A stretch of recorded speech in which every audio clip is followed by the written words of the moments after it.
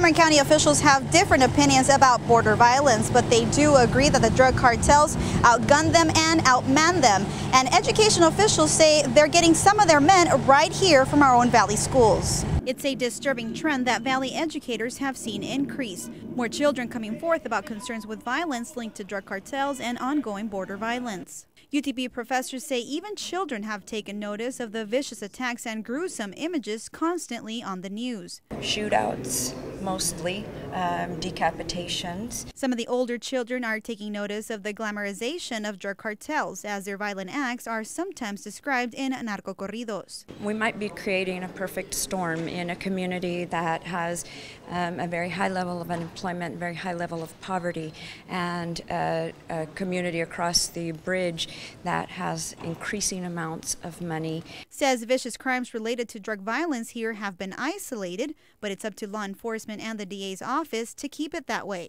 Anytime you hear of violent crimes and you see what's occurring in our neighbor to the south in Mexico with these mass decapitations and mass graves, sure, people are afraid. They're afraid that they can't be protected.